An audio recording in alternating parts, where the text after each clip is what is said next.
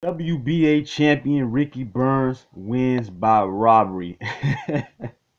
I'm talking about a straight up heist, a theft, whatever you want to call it, a bank robbery. That motherfucker put on a ski mask and straight up earned a robbery. I'm not even gonna go too much into this fight because I'm pissed off. This shit was utter, outright ridiculous, man. How the fuck do you lose rounds one and two? I mean, he lost them motherfuckers clearly. Clearly lost rounds one and two he got hurt bad in round 10, got hurt bad in round 12 and 11, and the motherfucker got knocked down. And you win on all the mother loving scorecards? What the fuck has boxing become, man?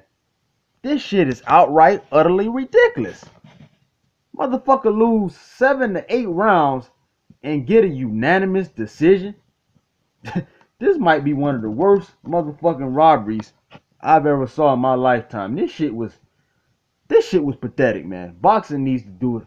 They need to investigate this shit, man. This shit was highly suspect, highly pathetic. I guess they want to get a fight with Adrien Broner and Ricky Burns, but Adrien Broner's gonna knock his ass out within one or two rounds. Ricky Burns is a straight up bum. He needs to retire, man. The motherfucker was good four or five years ago. He's shit now. He's dog shit, right? He can't fight a lick, man. That's easy motherfucking work for Adrien Broner. Adrien Broner gonna murk his ass, man. that shit is gonna be ridiculous. Y'all ain't gonna enjoy that fight. I'm telling you right now. Adrien Broner is gonna fuck his ass up. He, he ain't got no motherfucking skills. No skills at all. But if y'all saw that robbery, let me know what y'all thought about it. Drop me a comment, hit that like button, and subscribe. I'm out. Damn shame.